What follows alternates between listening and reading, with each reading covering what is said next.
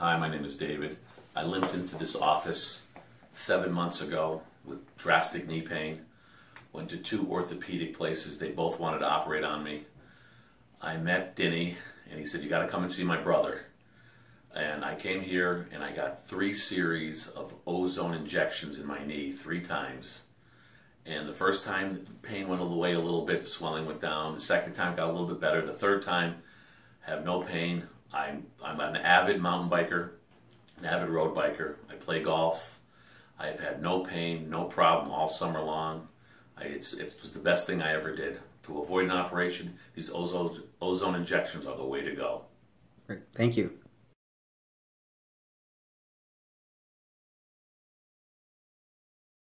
About three weeks, four weeks now. Oh, so it's recent. Yeah. What is your guess that you did? Something to do with mountain biking, maybe? No, my guess is I was moving something and I think I might have strained it. Okay.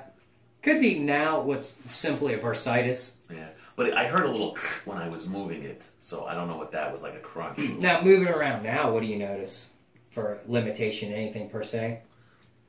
No, not Pain. as bad. Not so it bad. really is worse when you're trying to sleep on it? sleeping something when I was sitting on the airplane today was killing me. Messing up the system.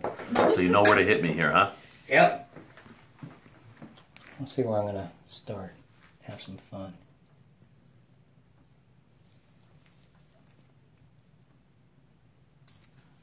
Feel much? Yeah.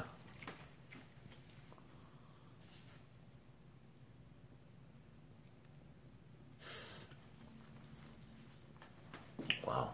Yeah. One last one, you'll be done. That's it.